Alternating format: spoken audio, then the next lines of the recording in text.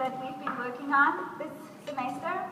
And um, I'm so proud of these guys, and I'm just going to embarrass them a little bit because when they started this semester, only two of them could, could play.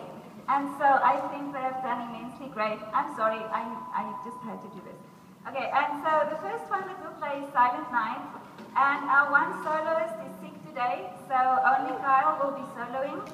And um, we just want to humbly ask you that you please be quiet because these guitars are not all that loud, and if there's lots of talking, you will not hear us at all. So the first one is Silent Night. The next one, the second one is um, O Come, O Come Emmanuel.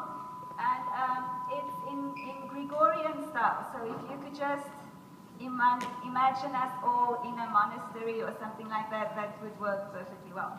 And then the third one is our two blues pieces, blues solos. And the very last one is our classical piece, Studio by Tárrega. So we hope that you enjoy this and please support us. Thank you.